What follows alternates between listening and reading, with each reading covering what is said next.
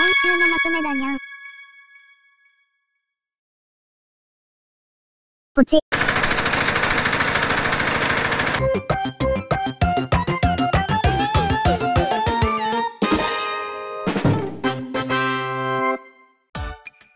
どうも、どうも。ニュース大好き、マスクニャンです今日は、新たな高速通信、5G を使って、遠く離れたところから、ブルドーザーの操作ができちゃうっていうニュースだにゃん。今、ブルドーザーが土を鳴らす作業を行っていますが、運転席を見てください。人がいません。KDDI 大林組 NEC が共同で行った次世代高速通信 5G の実証実験は建設現場で3台の重機を遠隔操作するというものです現場から500メートル離れた操縦室で6台のモニターに映し出された映像を見ながら操縦します。実際に重機が動くまでに時間差はほぼありません。大林組は来年度に部分的な導入を目指しています。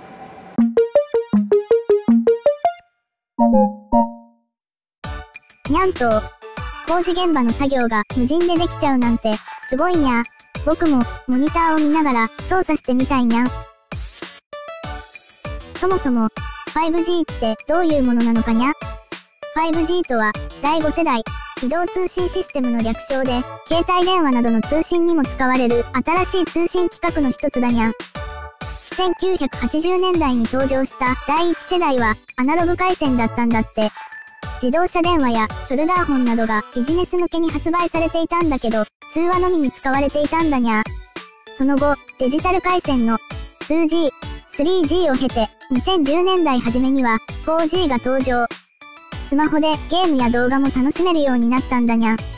そして、日本ではいよいよこの春、2020年春から 5G のサービスが始まるんだにゃ。この 5G、超高速、超低遅延、多数同時接続が特徴らしいにゃん。まず、超高速についてどのくらい速くなったのかにゃ今、僕たちが使っている 4G と比べると最大100倍になるんだにゃ。その速さは、例えば2時間の映画だと、たったの3秒でダウンロードできちゃうほどにゃんだって。見切れないほどダウンロードしちゃいそうだにゃ。超低速遅延というのは、いわゆるタイムラグがとっても短いんだって。だから、ほぼリアルタイムの操作が可能になるんだにゃ。最後の多数同時接続はいくつもの機器、端末を同時に接続して操作することができるんだにゃん。5G を使えば、複数のドローンを同時に使って農作業ができたり、遠隔操作で手術をしたりなど、これからの生活がどんどん変わっていきそうだにゃ。5G で、いい感じにゃんちゃって。今週もよろしくにゃん。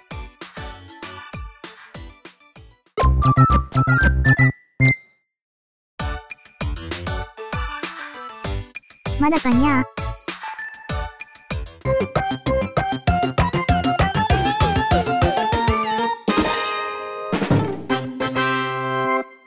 どうも、どうも。ニュース大好き、マスクにゃんですカップ麺が出来上がる時間って、待ち遠しいにゃ今日は簡単に食べられるカップ麺。カップヌードルを別の料理にしても美味しくなるっていうニュースだにゃん。味噌味で試したけどガチうま。カップヌードルチャーハン、神。こちらが今話題のツイート。ネットで話題のカップヌードルで作るチャーハン。作ってみたら全部うまかったので、ここにご報告します。日清食品が勧める話題のカップヌードルチャーハン実際に作ってみました。一番チャーハンが美味しくできたというこちら。塩を使って作っていきます。材料こちらです。ご飯刻んだネギサラダ油卵お水です。こちら袋を用意していただいて蓋を全部開けちゃいます。でこれを袋の中に出していきます。コンってやると綺麗に出せます。こんな状態ですね。潰していくんですがこれ使っちゃいます。棒早いし痛くない。こんな感じで粉々になりました。これをですね再びカップヌードルの容器に移していきます。こんな感じです。これにお水を入れていきます。砕いたヌードル浸るぐらい。あとはコンロに移動して作っていきます。では早速調理していきます。まず卵を入れます。ご飯ドカンと入れます。なじませていきますね。もうこれだけで結構美味しそう。ふやかしたカップヌードル。そして刻んだネギ。なじませながら水分を飛ばしていきます。もうちょっと油多くても良かったかもしれないな。あ少し。美味しそうな焦げもできてきました。だんだんだんだんチャーハンらしくなってきました。いいんじゃないかな。よし完成です。じゃん。調理開始からおよそ5分程度でカップヌードルチャーハンが完成しました。パッと見普通のチャーハンに見えるんですけど麺があるんです。わかりますか？見えますかね？ではいただきます。うんうんうん。カップヌードルの味が染み込んでいて麺に濃い味がついているので調味料代わりになってるんですかね？面白い。日清食品は試した15種類のチャーハンはどれも美味しくできたということです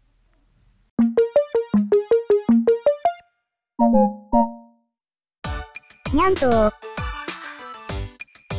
そのまま食べても、ひと手間加えても美味しいカップヌードル。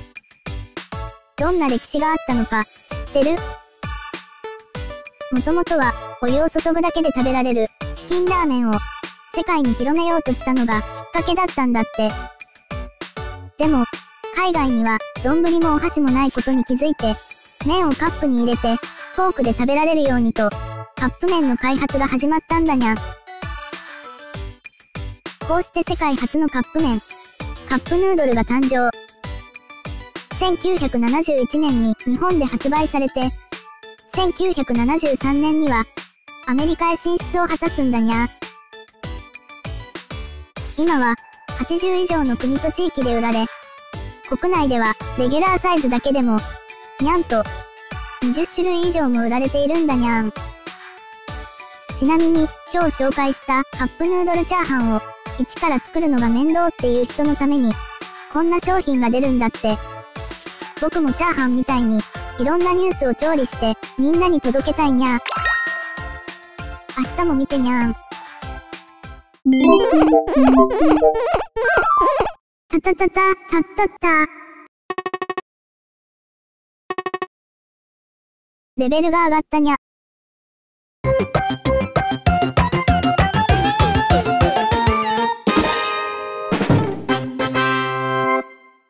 どうも、どうも。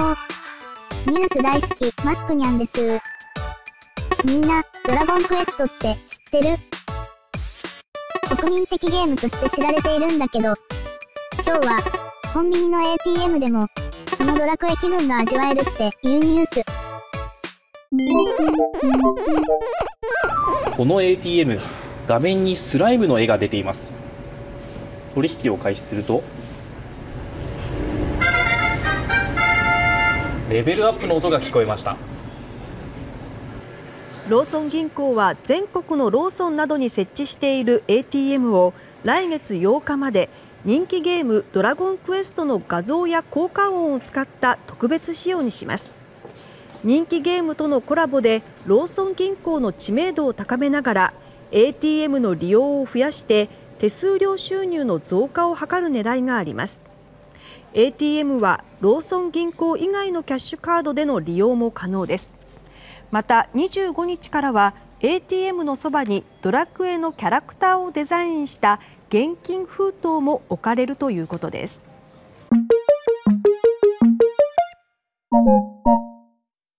にゃんとゲーム以外であのレベルアップの音が聞けるなんて感動するにゃ。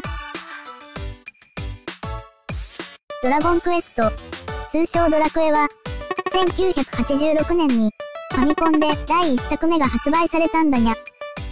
主人公が自分の分身としてゲームの世界を冒険するのが特徴で、それまでほとんど知られていなかった RPG、ロールプレイングというジャンルを世に知らしめたんだにゃ。1988年に登場したドラクエ3では、発売日に学校を休む学生が続出。ゲーム店の前に長蛇の列ができるなど、社会現象になったんだって。そして380万本という当時の販売数の圧倒的1位を記録したんだにゃ。一方で、人気のないゲームとの抱き合わせ販売が横行したり、他人が買ったゲームを奪う、ドラクエ狩りが社会問題にもなったんだにゃ。その後、オンラインやスマホのアプリなどでも展開されて、30年以上も幅広い層に人気なんだにゃ。僕もレベルをどんどん上げて、ホイミを唱えてみたいにゃ。にゃーんちゃって。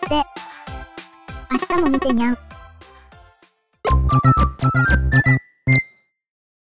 一度でいいから、ピンクのかまぼこと、サバ缶を、ぐっちゃぐっちゃに混ぜて、その上に、鰹節を大量にかけて、食べてみたいにゃど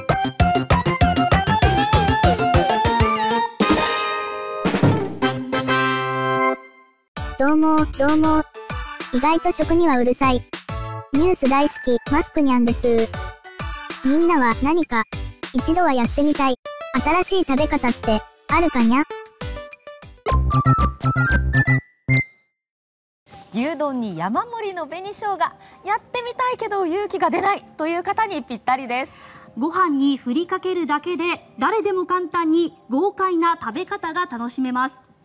今回紹介するのはこちらのふりかけカレーに梅干しを丸ごと入れてみた。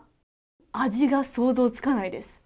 見て面白い。食べて納得。SNS で話題になっている新しい食べ方ふりかけに再現したという商品になります。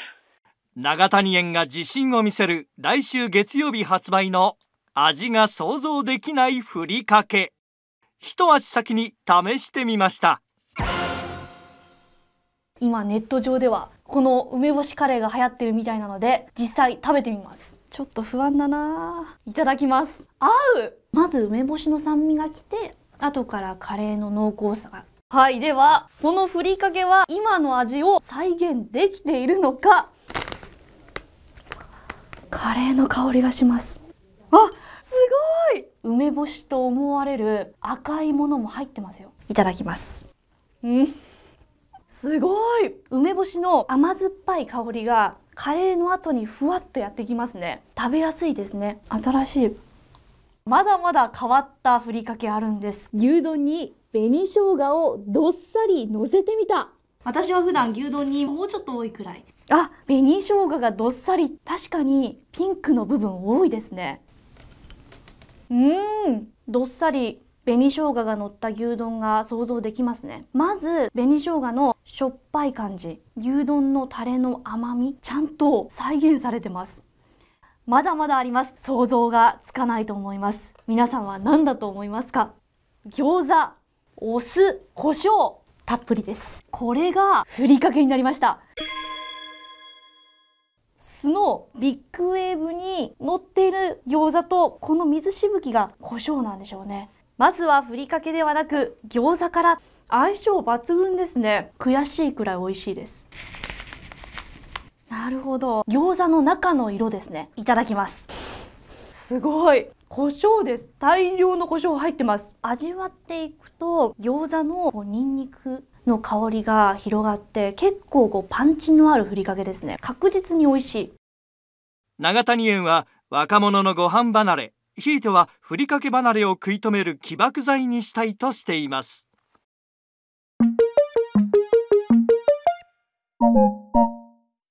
にゃんとふりかけの歴史は意外と浅くておよそ100年ほどって言われているんだにゃん。大正から昭和にかけて数箇所で考案されたみたいにゃんだけど全国ふりかけ協会によると大正時代に熊本の薬剤師が最初のふりかけと言われるご飯の友を作ったんだって。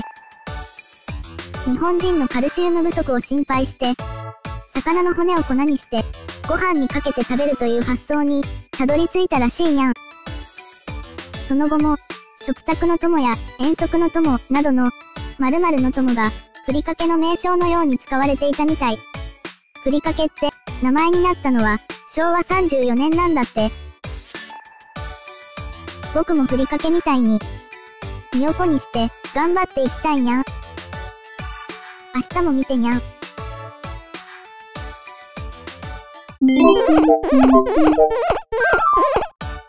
ただいにゃーん。ゴシゴシ、ゴシゴシ。みんなは手洗いうがいはちゃんとしてるよね。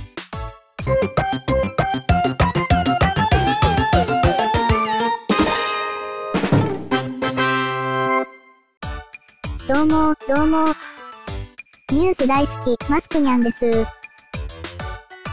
感染拡大が続いている新型コロナウイルス。今日は手洗いに関するニュースだにゃん。新型コロナウイルスの感染拡大が続く中持ち運べる自分だけのマイ石鹸に注目が集まっています日を追うごとに高まる新型コロナウイルスへの警戒心。除菌タイプの、まあ、こういうシート。自分が感染源になったらどうしよう。すごくもう毎日が不安です。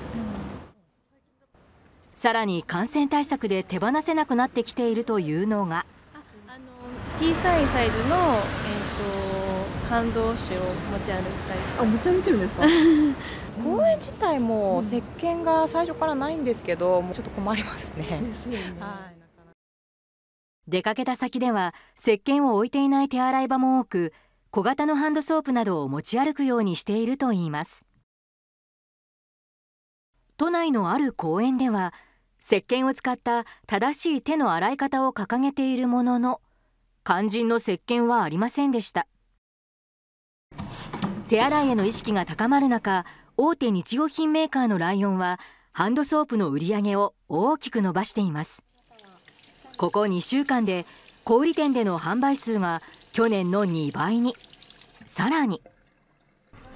持ち運びやすさにこだわった商品も注目されているんです。こちらのケース泡タイプのハンドソープを小分けにして持ち運ぶことができるんです。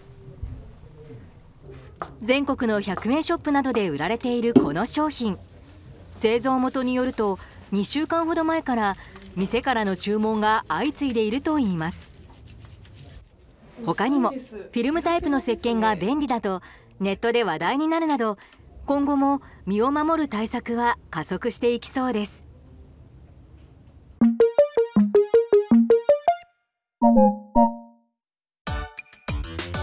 なるほど。新型コロナへの対策の意識が高まっているってことだにゃ。マスクや除菌シートなどの衛生用品がたくさん売れて、1月のコンビニの売り上げも増えたんだって。新型コロナの感染経路は分かりづらいものの、ドアノブやつり革などはたくさんの人が触るので、そこにウイルスがついている可能性があるんだって。手洗いがとっても大事なんだにゃん。これは正しい手の洗い方にゃんだけど、みんなはできてるかにゃ？手首はつい洗い忘れそうだにゃ。また、たくさんの人が集まる場所でも、くしゃみや咳などから移る恐れがあるんだって。だから、明日からの3連休も、各地でイベントが相次いで中止や延期されているんだにゃん。ゆいちゃんも、お出かけ楽しみにしてたんだけど、残念そうだったにゃ。僕がお家の中でいっぱい遊んであげるにゃん。しっかり対策して、自分の身は自分で守ろう。今週も見てくれて、ありがとにゃん。チャンネル登録、よろしくにゃん。